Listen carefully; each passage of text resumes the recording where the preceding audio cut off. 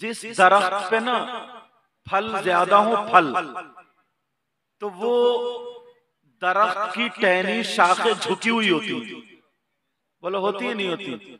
और जिस पे अगर फल ना हो तो वो खड़ी हुई होती। है इतनी इनकी सारी ये जबकि अपने वक्त के खुद जयद मुकर्र हैं सारे लोग। मगर उसके बावजूद भी बैठे हैं। मैं तो बेकार हूँ दुआ करो अल्लाह मुझे भी अच्छा कर दे। तो इस तरफ़ से लेकर के इधर तक। इनका चेहरा देखें और तारुफ। आकब फरमाते नजरतुन इलल आलिम। मैं कह दूँ आप कह दें कि ये अच्छे हैं। तो ये अच्छे हो भी सकते हैं नहीं भी हो सकते हैं। और अगर आका जिनको कह दे नबी जिनको फरमा दे वो अच्छे हैं तो फिर वो अच्छे ही होते हैं। क्योंकि नबी की बात है आका फरमाते हैं नजरतुन इलम अहब्बू इलैया मिन गिबादत सना। किसी आलिम की तरफ़ एक मर्तबा देखना। कुछ पढ़ना नहीं। दुआ भी नहीं करना नजरत तो नकिरा का एक मर्तबा देखना। अहब्बू इलैया मिन गिबादती सनतिन। आका फरमाते मुझे एक साल की इबादत से ज़्यादा पसंद है। अब प्यारो देखो जो नबी को पसंद वो खुदा को पसंद जिससे नबी राज़ी उससे खुदा राज़ी और जिससे ये दोनों राज़ी उसकी दुनिया भी कामयाब और उसकी आखिरत भी कामयाब। अल्लाह के रसूल सल्लल्लाहु अलैहि वसल्लम इरशाद फरमाते अगर कोई आलिम या तालिब इल्म, आलिमन और मुतालिमन का लफ्ज हज़रत। अगर कोई आलिम, यानी पढ़ाने वाला या पढ़ने वाला किसी बस्ती के कब्रिस्तान से गुजर जाए। मर्रा का लफ्ज खाली गुजर जाए दुआ ना करे कुछ पड़े नहीं। आका फरमाते उसके गुजरने की बरकत ये होगी कि अल्लाह ताला उस कब्रिस्तान के मुर्दों से चालीस दिन के लिए अजाब उठा लेता है। वाह सुभान अल्लाह चालीस दिन के लिए अजाब। ये वो लोग हैं जिनका तारुफ नबी ने खुद फरमाया। अल्लाह अल्लाह नबी फरमाते खमसुम मिनल गिबादा किल्लतुत तुआम वल फिल मस्जिद। वल नज़रु इलल काबा वल इलल मुसहफ वल इलल आलिम नबी ने फरमाया, पाँच चीज़ें इबादत में से। कितनी चीज़ें बोलो प्यारे? नंबर एक किल्लत आम कम खाना इबादत। अब जो पेटुए हैं, सांस लेते ही नहीं, खाने पे खाने पे, वो सोच ले। आका फरमाते, कम खाना इबादत। ताकि रुकू सुजूद में परेशानी ना हो। और नंबर दो किल्लत कम खाना इबादत। नंबर दो बलकूद फिल मस्जिद। मस्जिद में बैठना इबादत। आप लोग मस्जिद जाते हो? अल्लाह के घर में जाते हो? पाँच वक्त में है जुम्मा जुम्मा मुसलमान जुमे की नमाज़ पढ़ते ही जन्नती हो जाता। पाँच वक्त की नमाज़ नहीं, खाली जुमे की नमाज़ पढ़े और जलसे में कोई कह दे जो नारा लगाए वो जन्नती है तो दो चार लोग खड़े होकर के नारा लगा देते खाली नारा लगाने से काम नहीं चलेगा। अगर रस्मी नारे लगाते हो दिखाने के लिए नारे लगाते हो तो तुम्हारे नारे किसी काम के नहीं। अगर नारा लगाना तो अपने करेक्टर से नारा लगाओ, किरदार से नारा लगाओ, अपने अमाल से नारा लगाओ, गिरे बाल फाड़ फाड़ के, हाथ कुदा कुदा करके। नारे लगाने वाला सिर्फ़ खालिश नबी का गुलाम नहीं होता। नबी का गुलाम वो होता है जो अगर खाए तो उसके खाने की अदा बोले नबी नबी, उसके पीने की अदा बोले नबी नबी, उसके चलने की अदा बोले नबी नबी, उसके उठने बैठने, खाने पीने, सोने जागने, रहने सहने की हर हर अदा बोले नबी नबी, वो गुलाम नबी होता जो तो लोग कहे, जब मुसलमान ऐसा गए तो फिर इनका इस्लाम कैसा होगा? वो है गुलाम नबी। ईशा की नमाज़ पढ़ के आयो पढ़ के आयो नहीं पढ़ के आयो दो चार या दस बीस पढ़ के आयो और मैं अभी कह दूँ या कोई शायर कह दे कोई मुकर्र कह दे कि तुम सब जन्नती हो तो फूल के चला जाएगा। कलमा पड़ा है जन्नती तो हो मगर उससे पहले कबर में सर्विस भी होनी है। उससे पहले कबर में पिटाई भी होनी है। अल्लाह अल्लाह अब जरा सुनो मैं हदीस आपकी तरफ़ लेकर के चलूँ। इजाज़त है? ये जलसा तुमने करा, अल्हम्दुलिल्लाह, माशाल्लाह। अल्लाह ताला बरकत अता फरमा इन कमेटी वालों ने हज़रत, अल्लाह ताला ने जिससे काम ले ले कभी कभी छोटा काम ऐसा हो जाता है कि वो बख्शिश का ज़रिया बन जाता। है कभी किसी नेकी को छोटी नेकी मत समझो। और छोटे गुनाह को भी छोटा मत समझो। कभी कभी छोटा गुना भी ले डूबता। कभी कभी छोटा गुना भी ले डूबता। अब जरा जलसा करने वालों सुनो जलसे में आने वालों सुनो। आका से पूछो आका आपके उम्मती नमाज़ भी पढ़ते हैं, रोजा भी रखते हैं, जक़ात भी देते हैं, हज भी करते हैं, जलसा भी करते हैं, नाते भी, तकरीर भी, सारे काम अच्छे करते हैं। बोलो, करते नहीं करते मगर आका, आपकी उम्मत में क्या ऐसे लोग भी है जो नमाज़ पढ़े तो उनकी नमाज़ कबूल नहीं होती? रोजा रखे तो रोजा कबूल नहीं। जक़ात दे तो जक़ात कबूल नहीं। हज करे तो हज कबूल नहीं। जलसा करे तो जलसा कबूल नहीं। तकरीर करे तो तकरीर कबूल नहीं नाच पड़े तो नाच कबूल नहीं, नारा लगाए तो नारा कबूल नहीं, कोई इबादत काबिल कबूल नहीं। जरा टटोलो हदीस तलाशो तो नबी फरमाते हाँ काला काला रसूलुल्लाह सल्लल्लाहु अलैहि वसल्लम, सलासा ला यक़बलुल्लाहु अज़्ज़ वजल सरफा वला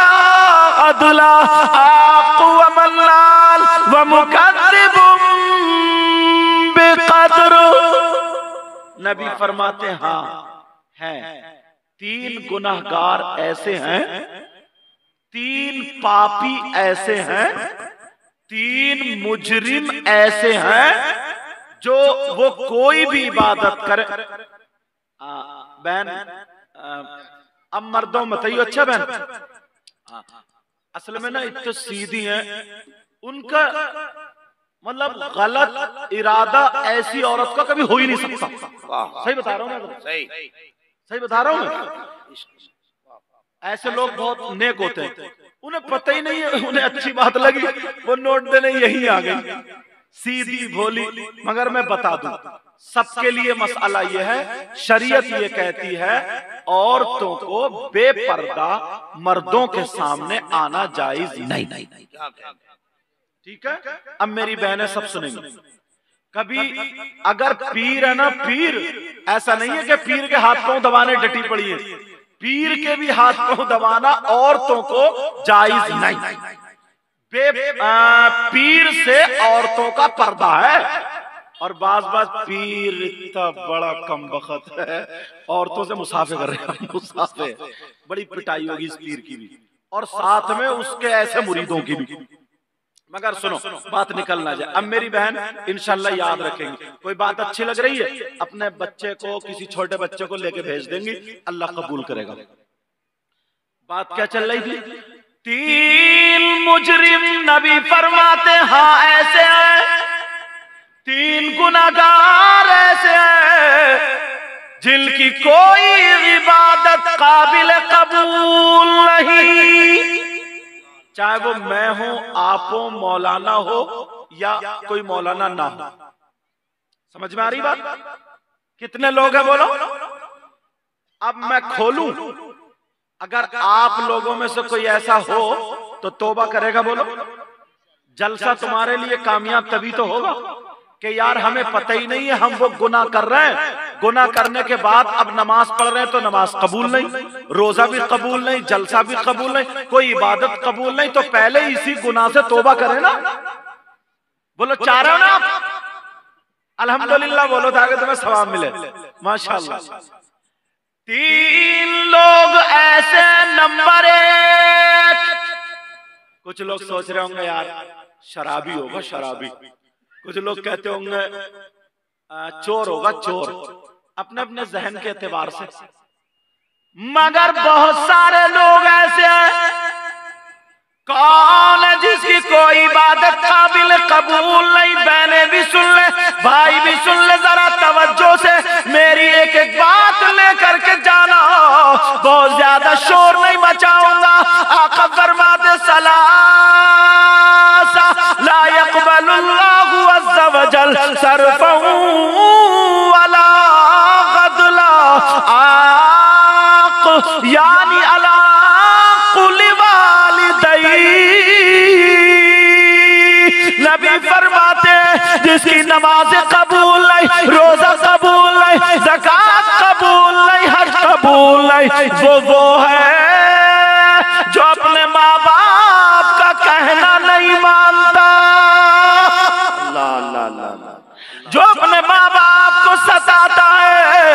माँ बाप को तकलीफ़ देता है। माँ बाप का और नबी की बात पत्थर की लकीर है। अगर नबी जिसको मना कर दे तो कोई मौलाना जन्नत में ले जाएगा? बोलो, कोई पीर जन्नत में ले जाएगा? नहीं ले जा सकता। और मैं तो हदीस भी सुना रहा हूँ। अल्लाह बेटा अंगूठी एक पहनना चाहिए। ठीक है। हाँ। क्या करेंगे बोलो? अंगूठी जैसे ये मेरी चांदी की है ना ये मसला भी बताई दूँ। चांदी की साढ़े चार माशा से कुछ कम। कितनी बोलो? साढ़े चार माशा से कुछ कम। चांदी की एक नग की एक अंगूठी मर्द के लिए पहनना जायज़ है। इसके अलावा प्लास्टिक की, लोहे की, सोने की, चांदी के अलावा किसी भी धात की या दो चार नगों की मर्द को पहनना जायज़ नहीं। औरतों को चांदी की पहनना जायज़ है, सोने की भी पहनना जायज़ है। प्लास्टिक की या वो इल्टी गिल्टी क्या होता है ना वो वो औरतों को भी जायज़ नहीं। समझ में आ गई बात? अब पहनोगे बेटा तो एक ही अंगूठी। ठीक है? ये मसला भी अल्हम्दुलिल्लाह अब वो आए तो उनके आने से सौ रुपए तो मुझे मिले मगर आप लोगों को कितना कीमती मसला मालूम होगा। इनको सबको मालूम है मगर आपको पता चल गया आप समझ रहे हैं? चलो। नबी फरमाते अगर जिसके माँ बाप नाराज़ है उसका नबी भी नाराज़ खुदा भी नाराज़ कितने ही जलसे कर लो कितनी नमाजें पढ़ लो कितने रोज़े रख लो। अगर माँ बाप तो उसकी इबादत ला यक़बलुल्लाहु अज़्ज़ा वजल सरफं वला अदला। न उसका फ़र्ज़ कबूल, न उसका नफल कबूल, कुछ भी काबिल कबूल नहीं। मैं आया, मेरे लोगों ने इतने हाथ चूमे के सैया साहब आए। आले रसूल, नाजिम साहब ने मेरी इतनी तारीफ़ करी। मैं अपने गुनाहों पे नज़र कर रहा था, ये अल्लाह इतना बड़ा गुनाहगार। दुआ करो, अल्लाह मुझे भी अच्छा करे। और तुम भी गुनाहों से बाज रही हो। बोलो, इंशाल्लाह। सब लोग बोलो बोलो, इंशाल्लाह। कभी कभी की इंशाल्लाह कबूल हो जाती है। अगर दिल से कहो तो इंशाल्लाह ज़रूर कबूल होगी। बोलो, इंशाल्लाह। अब सुनो। हाथ चूमे हमारे इलाके में हाथ चूमे जाते जो सही साहब। जाड़े का मौसम नैनीताल के इलाके में आप लोग तो जाते ही ठंड पड़ती है तो कभी कभी तो ना ऐसे रगड़ते रगड़ते यहाँ पे नाक लगा देता नाक नाक। को क्या बोलते हैं रेट। नेटा नेटा नेता या नेटा? अच्छा नेटा। आप समझ गए होगे ना? ये जो नाक में से निकलती है वो लगा देते हैं। मगर सुनो। मसला अगर गलत साबित हो जाए ना तो मुँह मांगा इनाम। क्या मसला? एक नहीं बल्कि हज़ारों पीर। कितने बोलो? हज़ारों पीर इधर लाइन में खड़े हो। मुझ जैसे मौलाना और मुफ्ती तो मैं बेकार सा सब इधर अच्छे अच्छे खड़े हो। ऐसे जिनकी के दुआएँ कबूल होती हूँ। कितने बोलो? नकलियों की बात नहीं कर रहा मैं असलियों की बात कर रहा हूँ। एक हज़ार मौलाना या एक हज़ार मुफ्ती एक हज़ार पीर जिनकी दुआएँ कबूल होती हो और तुम्हारे मार बाप इस लाइन में खड़े हो। ये हज़ारों पीर इधर तुम्हारे माँ बाप इधर। अब सुनो मसाला सुनो ये हज़ारों पीर तुम्हारे लिए सुबह से शाम तक दुआएँ करते रहे। अगर तुम्हारे माँ बाप नाराज़ है तो एक की भी दुआ तुम्हारे हक में काबिल कबूल नहीं। मैं आया नोट दिए, देना चाहिए। इन ओलमा की खिदमत, पीरों की खिदमत करनी चाहिए, मगर अम्मा और अब्बा का भी ख्याल रखना चाहिए। ऐसा ना हो कि हज़ारों नोट देते हो, इसमें कंजूसी मत करना, मगर माँ को खांसी आ रही है, सौ रुपए की दवा भी नहीं दिला पाते हो, बाप का चश्मा भी नहीं दिला पाते हो। अल्लाह बरकत फरमाए, अब मुसाफा नहीं करूँगा, यही रख के जाओगे, क्योंकि मुझे मैं डिस्टर्ब हो रहा हूँ। समझे या हज़रत से? हज़रत अल्लाह मौलाना अब्दुल रहमान बरकी है बिजली की तरह बरसते हाँ। अल्लाह बरकत फरमाए। तो अगर माँ बाप नाराज़ है माँ बाप तो एक की भी दुआ तुम्हारे हक में काबिल कबूल नहीं। अब पहला सबक, पहला मैसेज यहाँ से क्या लेकर के जाओगे? माँ बाप को राज़ी करोगे। कितने नमाजें तो पढ़ रहे हैं जलसे भी कर रहे हैं कमेटी भी सब बातें हैं मगर माँ बाप को तकलीफ़ माँ बाप को नाराज़ नहीं। बेटा मैं इस बात से हरगिज खुश नहीं होऊँगा कि तुम मेरे हाथ चूमो मेरे हाथ चूमो और अपने माँ बाप को भूलो। हरगिज ये नहीं। मेरे नबी का हमारे आपके आका का पैगाम यही है। जरा तवज्जो से सुनना। अगर जिसके माँ बाप नाराज़ है उसका नबी और उसका खुदा भी नाराज़। समझ में आ रही बात? अब सुनो। एक बात और आप लोग चाहते हो आपकी दुआएँ कबूल हो बोलो ना बोलो कुछ ना कुछ तो बोलो। मुझे पता चलेगा समझ में आ रहा है या नहीं। आप मेरी बात समझ रहे हैं ना? ऐसा तो नहीं है पार जा रही है। अगर समझ रहे हैं तो अल्हम्दुलिल्लाह बोलो। हाँ माशाल्लाह। और अगर नहीं समझ रहा है तो जजाकुमुल्लाह बोलो। अच्छा समझ रहे हैं। समझ रहे हैं अल्हम्दुलिल्लाह। अल्लाह आपको इतना दे इतना दे। मेरे मौला इनकी तमाम परेशानियों को और तमाम औलाद रसूल के सदक़े में दूर फरमा दे। अल्लाह जिसकी जो तमन्ना है उसको पूरा फरमा दे। हमारे इन सब ओलमा को अपने दर से गिना नसीब फरमा। किसी का मोहताज मत रख। आप लोग चाहते हो कि आपकी दुआएँ कबूल हो जाए? मैं भी चाहता हूँ। और यही वजह आप लोग अच्छे अच्छे लोगों के पास जाते हो। अजमेर शरीफ भी जाते हो और बिलग्राम शरीफ भी जाते हो। मारेरा शरीफ भी जाते हो। जाते नहीं जाते? बरेली शरीफ। जहाँ जहाँ जिसकी समझ में आती। मगर एक बात बताओ प्यारे। मस्जिद में भी जाते हो। तुम्हारे यहाँ किसी अल्लाह वाले का मजार होगा मुझे नाम मालूम नहीं है। वहाँ भी जाते हो तो मगर एक बात बताओ तुम्हारी सबकी दुआएँ कबूल हो जाती हैं हाथों हाथ अगर हाथों हाथ कबूल होती होती ना तो अब तक पड़ोसी पड़ोसी को मरवा चुका होता। क्योंकि इतना जलन इतना हसद जरा सी गलत या अल्लाह उसे टपका दे। खत्म। मगर उलमा के लिए यह बात बताऊँ बुखारी शरीफ अगर पढ़ेंगे बाबू दुआ निकालेंगे। तो उसमें ये लिखा है कि जो भी मोमिन दुआ करता है उसकी दुआ को अल्लाह तबारक व ताला महफूज करता है। और अगर उसके बंदे के हक में बेहतर होता है तो उसी वक्त उसका रिज़ल्ट दे देता है। और अगर बेहतर नहीं होता तो उसको रोक लेता है हश्र के मैदान में उसकी जजा उसे मिलेगी। समझे? ये मैंने इन वालों के लिए बात बता दी। अब सुनो। हाथों हाथ दुआ कबूल तुम्हारी नहीं हो रही अभी। उन वाले लफ्जों की अल्लाह अल्लाह, कौन सी बार गाए? मजारों पे जाया करो। जाते नहीं जाते मगर एक बात बताऊँ, मेरी बहनें बैठी हैं, इतनी ये है। बोल भी बहुत रही है।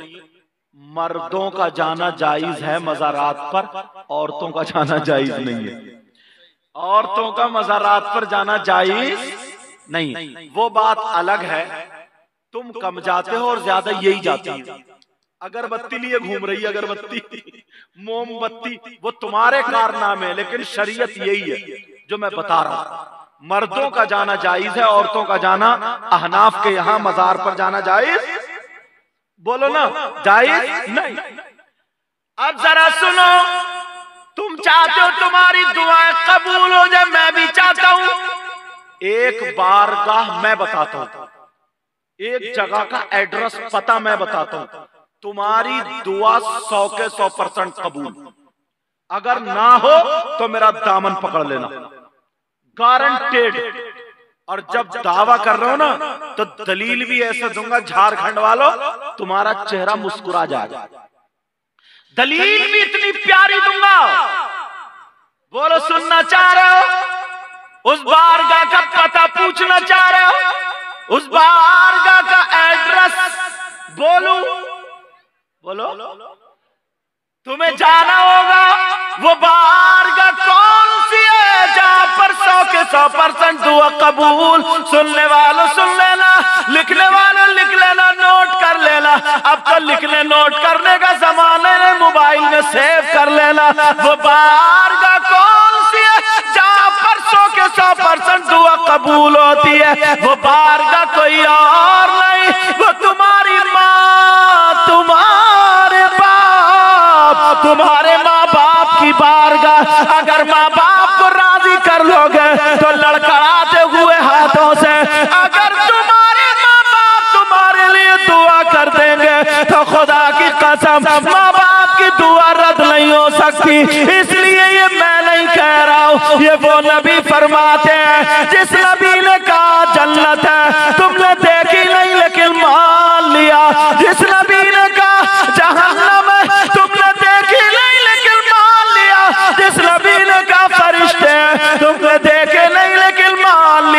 वही नबी फरमाते हैं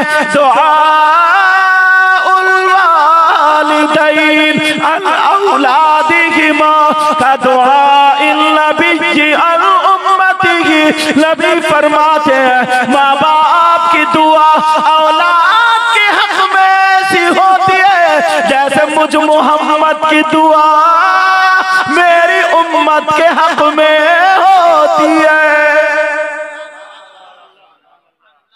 प्यारे, मेरी बात हो तो गलत हो सकती है, नबी की गलत हो सकती है नबी फरमाते हदीस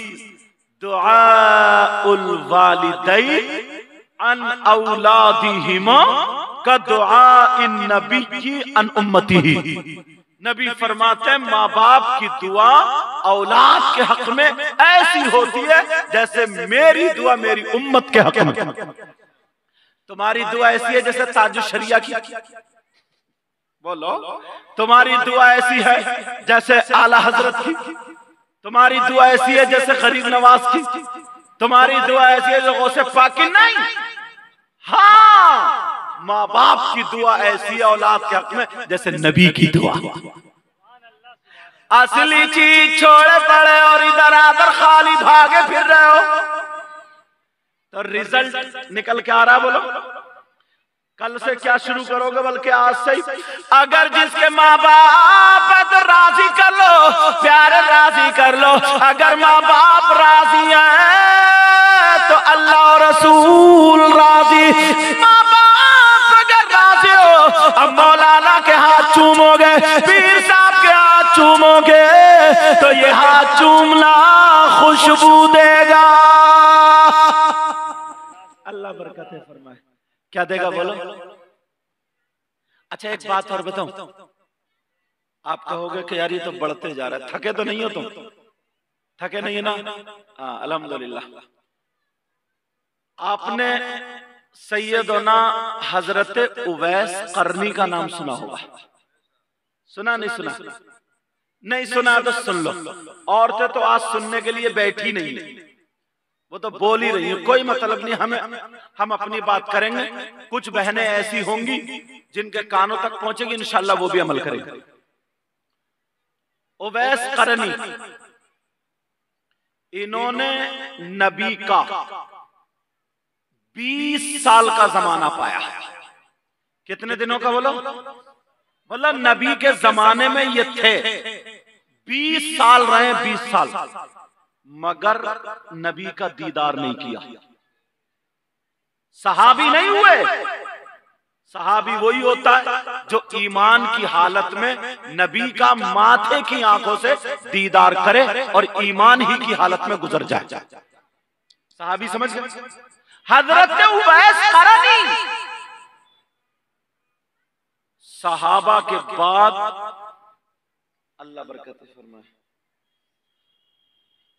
दुरूद शरीफ पढ़ो पहले अल्लाह सैदना मौलाना मोहम्मद सैदना मौलाना मोहम्मद वबारिक वसल्लम सलातों वसलाम अलैका या रसूल सल्लम उलमा जो होते ना बहुत अच्छे होते। ये ये चाह रहे ना कि तुम्हें ऐसी अच्छी अच्छी बातें पहुँच जाएँ। इतनी प्यारी प्यारी ये हमदर्दी तो है।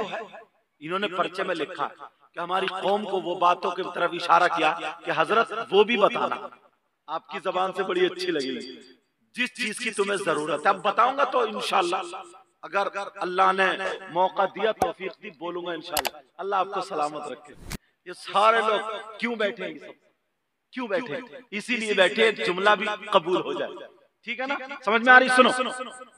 तो वैस करनी कितने दिनों बोलो? बीस साल। मगर नबी का दीदार नहीं किया।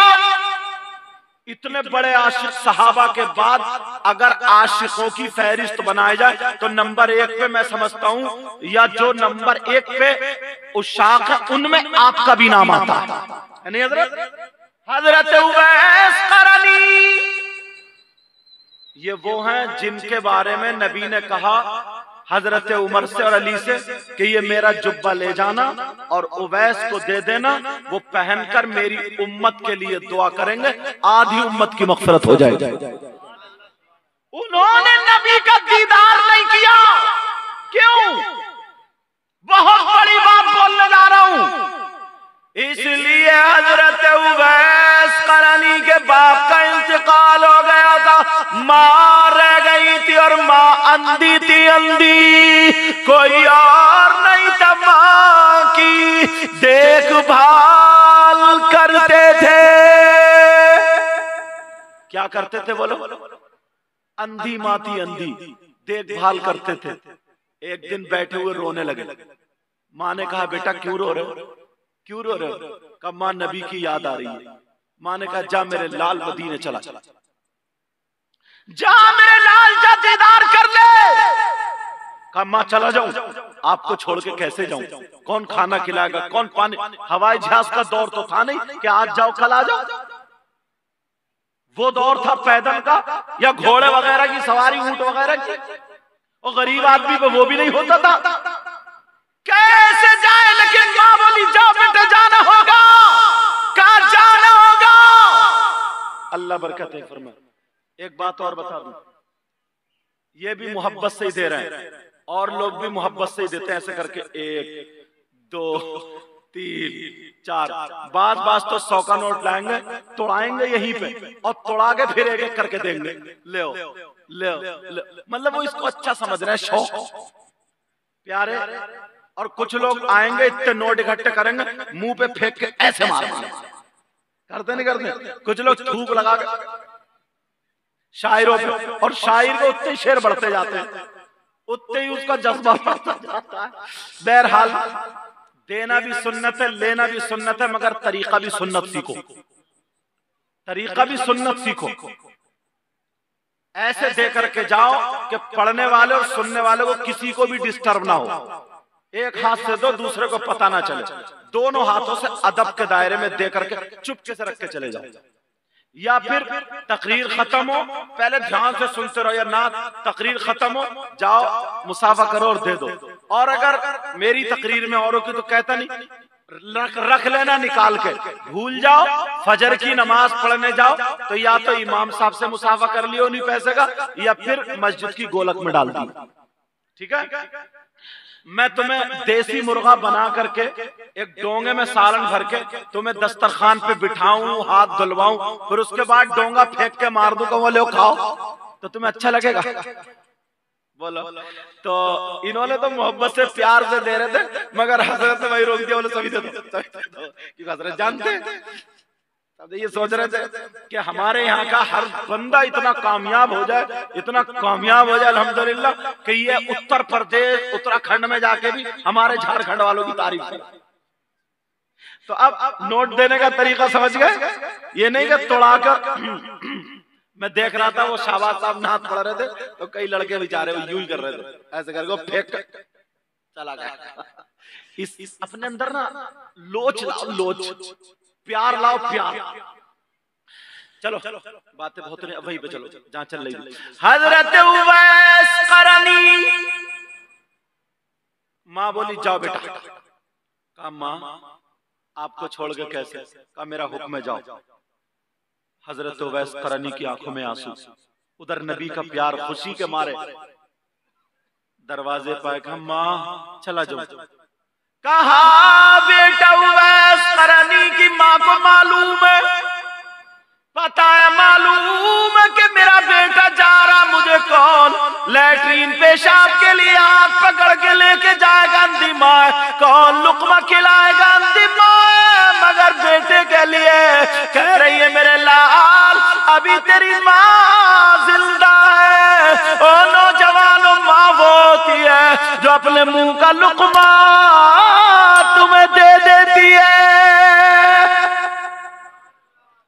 तुम्हें क्या पता बाप ने कैसे पाला? अभी जिनके घर में ठहरा हुआ हूँ मैं उठा ईशा की नमाज़ पढ़ने के लिए वज़ू बनाने के लिए वो उन्होंने पानी ला के दिया। तो बताया हज़रत मैं सत्रह साल मेरठ में रहा हूँ राजगिरी का तेरह रुपए की मजदूरी तक रहे और आज तुम गाड़ियों में चल रहे तुम्हारे बाप ने कितनी तकलीफें उठाई और तुम इशारे पर नज़र टेढ़ी करके चले जाते अभी ईशा के नमाज़ के लिए तुम आप ही के यहाँ ये बैठे हैं सामने ये है तो देखो। ये बैठे हैं ये इन्होंने जिन्होंने मेरा वज़ू कराया था। ये सफ़ेद टोपी वाले जर्सी वाले। जिनके घर पे मैं ठहरा हुआ हूँ उनका क्या नाम है हाँ। हुसैन अंसारी। हाँ ये आ रही है। मैं नोट लेने के लिए नहीं बुला रहा हूँ। ये मत सोचो कि मेरी तारीफ़ कर रहे हो इसलिए। हाँ अल्लाह ताला बरकत अता मैं इसलिए ये बात बता रहा हूँ ताकि आप लोगों को बच्चों को नसीहत मिले कि हमारे बाप दादा ने हमारे अब्बा ने कैसी तकलीफें उठाई हैं? आज तो अल्लाह का शुक्र है, तुम लोग गाड़ियों में घूम रहा हो, मारुतियों में घूम रहा सारी चीज़ों में, है नहीं है? हज़रत जब चले तो माँ का एक जुमला सुनो। माँ कहने लगी कहने लगी, बेटा, जा रहे हो। कहा माँ जा रहा हूँ? कहा, बेटा, जाना, नबी की चौखट को बोसा दे देना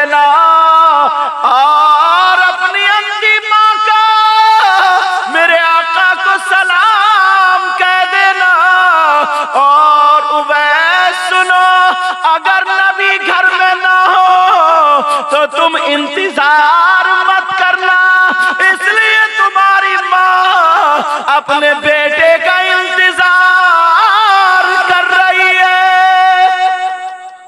अल्लाह ओवैस करनी जा रहे हैं। आँखों में आँसू, कैसे माँ को छोड़? अल्लाह, कौन मेरी माँ को खाना खिलाएगा, कौन पानी पिलाएगा? हज़रत जा रहे पहाड़ों को देखा, ज़मीन को देखा, दरिया नाले देखे। कहते जा रहे बालू, तू मेरे नबी के सस्ते में बना ज़मीन तू नबी के सस्ते में पानी तू नबी के सस्ते में। जिसकी तर्जमानी आला यूँ करते हैं, जमीनों जमा तुम्हारे लिए, मकीनो मका तुम्हारे लिए चुनीनो चुना तुम्हारे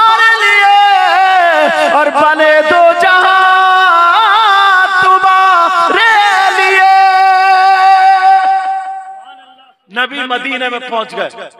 और जैसे ही पहुँचे पहले तो अलैका या रसूल अल्लाह अब आका के घर पे पहुँच गए। कहाँ पहुँचे बोलो थोड़ा रिज़ल्ट दो। बोलो कहाँ पहुँचे? आका के घर पे। जब पहुँच गए मेरे नबी के आशिक ने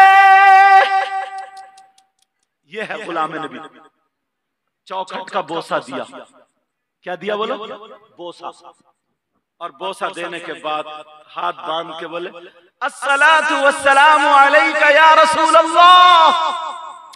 सहाबा का अंदाज बड़ा प्यारा था। इस्लामी तरीका यह है अगर किसी के घर पे जाओ तो खांस के जाओ। ताकि उसके घर की जो औरतें हैं हो सकता है घर में कभी कभी कोई बहन बगैर दुपट्टे के भी हो जाती। घर में कोई है तो नहीं ना। इसलिए कभी कभी किसी बहन के सर से दुपट्टा उतर भी जाता और अगर आप खांस के जाओगे तो वो अपने कपड़े वगैरह संभाल लेगी अपने दुपट्टा ओढ़ लेगी पर्दे वाली होगी तो आड़ में हो जाएगी। और होना ही पर्दे वाली चाहिए सबको। आड़ में हो जाएगी। और सहाबा का तरीका क्या था? नबी ने जो बताया ये भी है कि जब दरवाजे पे जाओ तो सलाम करो। अस्सलाम वालेकुम अगर जवाब मिल जाए तो ठीक। जवाब ना मिले तो फिर दोबारा सलाम करो। फिर जवाब मिल जाए तो वो आ रहे हैं। ठीक है। और जवाब ना मिले तो फिर तीसरी मरतबा सलाम करो। और तीसरी मरतबा में भी जवाब ना मिले तो वापस आ जाओ। इस्लामी तरीका है। और हमारा तुम्हारा तरीका क्या? ओ भूरा ओ कलुआ ओ जुमराती शुभराती लंगड़े मोटे काले जितने ऐब थे उसी के दरवाजे पे गिना डालता बहुत गलत जबान है। बहुत गलत जबान। इसको छोड़ना पड़ेगा। इसको छोड़ना पड़ेगा। समझ में आ रही बात?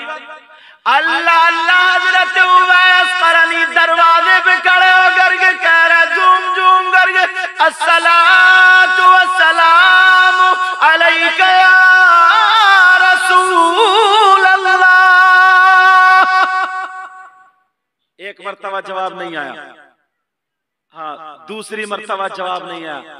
तीसरी मरतबा मोमिनों की माँ बोल गई। तमाम मोमिनों की माँ हज़रत आयशा। कौन है दरवाजे पर? आए है। मेरे नबी की बीबी हम सबकी अम्मी जान। माँ बोली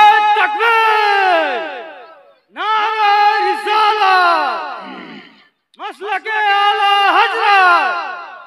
गौस दामन खाजा का दामन नारा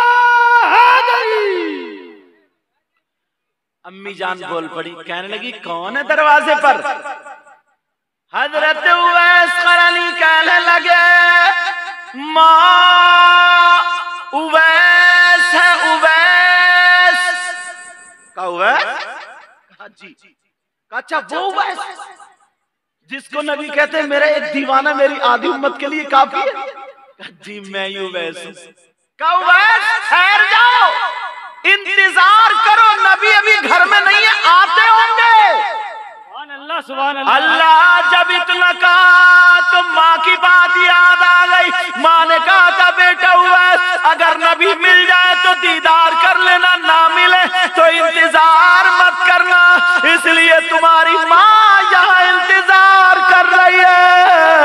करानी की बंद गई।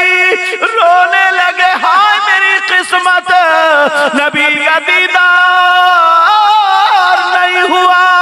हज़रत करानी ने अपनी माँ का इतना कहना माना। अब दरवाजे पर नहीं रुके फ़ौरन वापस हो गए। तुमने क्या क्या अपनी माँ के साथ? कभी देखा? माँ चीखती रहती है, चिल्लाती रहती है। बाप चीखता रहता चिल्लाता बाज बाज तो इतनी बदतमीजी से बोलता जिगर छल्ली कर दिया उसने। अरे माँ को कितनी तकलीफ़ होती है, मालूम है तुम्हें? छूटते कहता, चुप के बैठी रहिए। चुप के बैठी रहना। ऐसे आवाज़ देता हज़रत करनी रोते हुए वापस आ गए। माँ के कदमों पे आके गिर गए।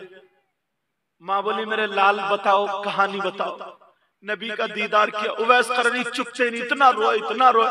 माँ ने उठा के सीने से लगा, कब बात बता बेटा, बात। अभी तेरी माँ ज़िंदा है, बोल क्या बात है। क्या तुझे नबी ने डांट दिया क्या नबी से मुलाकात नहीं हुई? का मैं रुका नहीं, नबी घर में नहीं थे बेटा क्यों नहीं रुका? का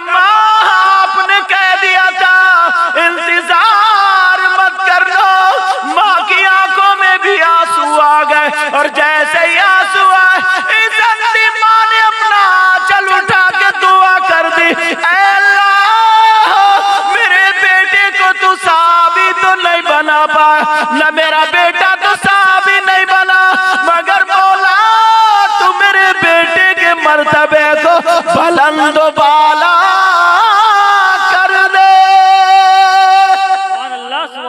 ये माँ ने दुआ की खैर कहा बेटा सुन। तू सहाबी तो नहीं हो पाया मगर इंशाल्लाह सहाबी तुझसे दुआ ज़रूर कराएँगे। अब सुनने की बात है सहाबी दुआ ज़रूर कराएँगे। अब दिन गुजरते गए उधर आका का विशाल हो गया। इधर उवैस करनी की माँ का इंतकाल हो गया। मगर आका दुनिया पे तशरीफ़ रखे हुए थे तब। एक दिन आका ने अली को बुलाया अली ताल इलैया। अली आया उदनु मिन्नी और करीब हो जाओ। अली करीब हुए। फिर उमर से उमर ताल ताल इलाहिना। उमर आया उदनु मिन्नी। करीब हो जाओ। दोनों के मोढ़े पे हाथ रखा। कहा सुनो मेरा एक दीवाना है उसकी हाथ की हथेली पे सफ़ेद दाग है इतना बड़ा रुपए की बराबर। उसके बाप का नाम आमिर है। कर्ण का रहने वाला। कहाँ का रहने वाला बोलो? कर्ण का रहने वाला। और उसके कबीले का नाम मुराद है। तुम दोनों ना उससे दुआ करा लेना। नबी ने क्या कहा? दोनों उनसे दुआ करा लेना। अल्लाह टाइम गुजरता गया। अब जब हज़रत उमर की खिलाफत का दौर आया। हज का मौका। हज़रत उमर ने कहा भाई या अली। मैं उर्दू में बोलूँ। कहा भाई अली। कहा जी उमर। कहा तुम्हें वो बात याद है जो नबी ने कही थी? कहा जी। कहा, चलो, अब उस दीवाने को ढूंढते, हज का मौका है। कहा, क्योंकि उस वक्त इतने लोग हज में नहीं जाते थे, कबीला अलग अलग हज़रत उमर ने ऐलान कर दिया कर्म के रहने वाले कौन कौन खड़े हो जाओ। बड़े मैदान जितने भी लोग थे कर्म से कौन आया है? एक शख्स खड़ा हुआ। कौन हुआ बोलो? एक शख्स। का कहा रहते हो? वो कहने लगा मैं कर्न रहता हूँ। कहा तुम्हारा कबीला क्या? उसने कहा मुराद। ये देखो अंगूठी। अंगूठी उतारो इसको। छोटा सा बच्चा। इतना खूबसूरत और अंगूठी पहन ली उसे पता नहीं बेटा एक ही पहनोगा और वो भी चांदी की है जो गिल्टी के पहने बड़े दोनों उतार दियो। तो हज़रत उवैस हाँ, उमर ने पूछा का कहाँ रहते हो? का कर्ण कबीले का क्या नाम है? का मुराद। अरे दो बातें ठीक हो गई। कहा अली? यही तो नहीं। है उमर जज्बात में आ गए बोले तुम्हारा नाम उवैस है क्या? तुम्हारा नाम उवैस है? अली भी खड़े हो गए। का उवैस है नाम का नहीं उवैस नहीं है। हाथ दिखाओ। हाथ दिखाए तो सफ़ेद दाग भी नहीं कहो ये नहीं अली ये नहीं बैठ तफद्दल बिल जुलूस बैठ गए हज़रत अली बैठ गए उसने देखा उवैस के बारे में इतनी तफ्तीश क्यों कर रहे हैं? कहने लगा हुजूर अगर इजाज़त हो तो मैं कुछ बोलूँ? का बोलो। का आप उवैस को क्यों पूछ रहे हैं? उवैस के बारे में इतनी तफ्तीश क्या? हज़रत उमर कहने लगे क्या तुम उवैस को जानते हो? कहा जी। मैं उवैस का चचा हूँ। खानदानी क्या हूँ बोलो मैं उवैस का चचा हूँ। जब इतना कहा तो अब तो करीबी। अब तो पता चली जाएगा। हज़रत उमर कहने लगे, उवैस के चचा कहा, जी। कहा, उनसे मुलाकात कैसे होगी? वो कहने लगा, हुजूर, कहाँ चक्कर में पड़ रहा हो? पागल है। दीवाना है। और हुजूर बड़ी बात यह है वो हज को आया है। मगर देखो सब लोग यहाँ है और वो बकरी चरा रहा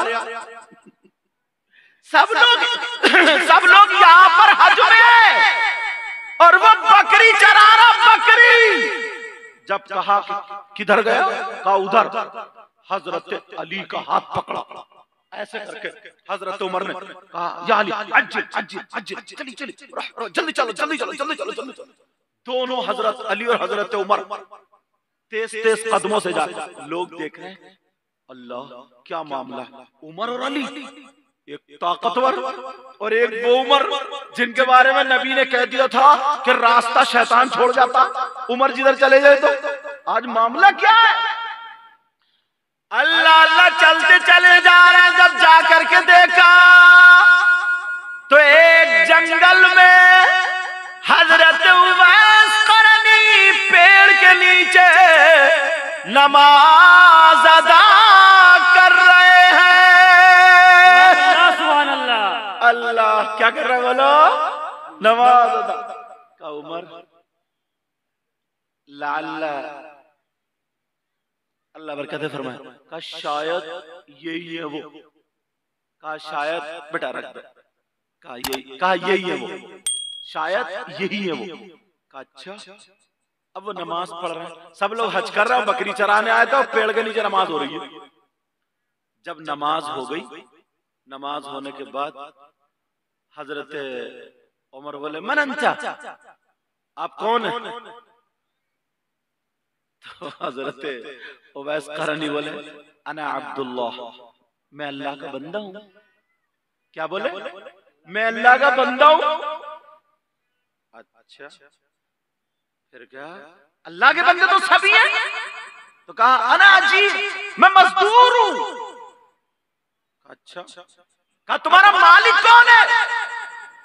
कहा सबका मालिक अल्लाह ही है।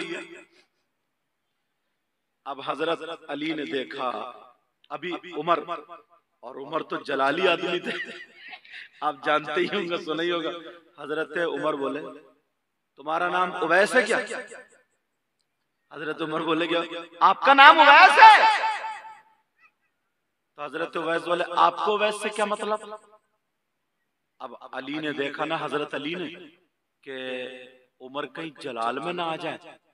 तो हज़रत अली बोल पड़े हादा उमर अबन खत्ताब अना अली इब्न अबी तालिब मन अंता अब हज़रत अली बोल पड़े ये जो है ना ये हज़रत उमर है हज़रत उमर बिन खत्ताब और मैं अली हूँ आप कौन जब इतना कहा ना तो फ़ौरन उठ के खड़े हो गए अस्सलाम माफ़ करना सामी हाली आप उमर हैं आप मौला कायनात हैं। कहा जी आपने मेरे नबी को देखा है।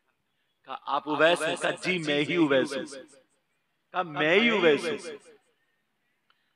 हाथ उन्होंने पहले ही दिखा दिए देख लिए। मुराद कबीला। बाप का नाम आमिर। और वो पेड़ मालूम है कौन सा था जिसके नीचे नमाज़ पढ़ रहे थे? मेरे नबी जब बकरी चराने जाते थे ना तो उस पेड़ की जड़ से ऐसे टेक लगा के बैठा करते थे और कभी खेला करते थे मतलब वहीं पर रहते थे। तो उस पेड़ के नीचे वैस करनी नमाज़ पढ़ रहे थे। अल्लाह अल्लाह जब इतना कहा तो हज़रत उमर कहने लगे। अब मुसाफो मोहन को बढ़िया। हज़रत उमर कहने लगे उवैस हमारे लिए दुआ कर दो। क्या कर दो बोलो?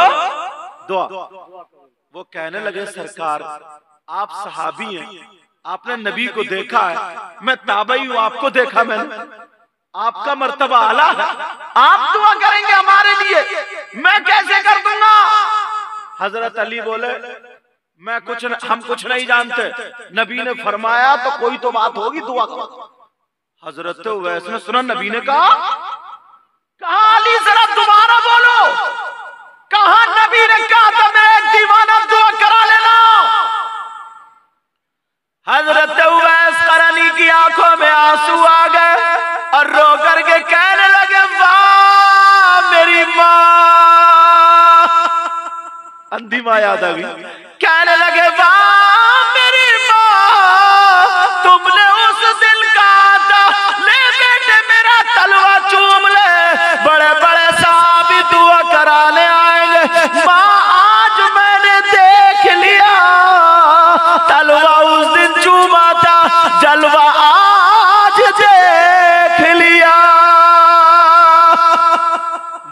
दुआ ये। किसकी दुआ बोलो? माँ की दुआ। दुआ। कर दी। अब हज़रत उमर ने एक सवाल किया। कहा ये बताओ तुम 20 साल रहे नबी के जमाने में और इतने बड़े आशिक भी हो परहेजगार हो तो तुम नबी को नबी का दीदार करने क्यों नहीं आए? तुमने नबी का दीदार क्यों नहीं किया? तो हज़रत ओवैस करनी ने पलट के एक सवाल हज़रत उमर से कर दिया। वो सवाल बताऊँ क्या था? बोलो, बताऊँ? कहा हाँ बताओ। कहा, ये आपने नबी को देखा कहा, जी, देखा हमने। तो हज़रत उवैस करनी बोले, ये बताइए, मेरे नबी की ये जो भवे होती है ना ये दोनों मिली हुई थी या जुदा जुदा थी बताइए? अब तो हज़रत उमर। थोड़े से चुप। चुप। हज़रत अली बोल पड़े। का सुनो। हमने नबी के साथ में जंगे की हैं। हम नबी के साथ में रहे हैं। हमने नबी के हाथ पर कलमा पढ़ा तो करीना ये बताता है हमने नबी को देखा। है और आपने नबी को नहीं देखा है। अगर हम बताते हैं तो फैसला करने वाला कोई नहीं होगा। अगर आप बताओगे तो फैसला करने वाले हम होंगे। लिहाजा सवाल आप पे आयद होता है। जवाब आपकी तरफ़ पलटता है। जवाब आपको देना होगा। ये बताओ नबी की भवे मिली हुई थी या जुदा जुदा थी? हज़रत अली ने जब पलटा दिया तो वैस करनी कहने लगे, अली, मैंने सुना नबी ने फरमाया आपके बारे में अना मदीनतुल गिल्मी वालियुल बाबुहा. मैं इल्म का शहर और अली उसका दरवाज़ा अली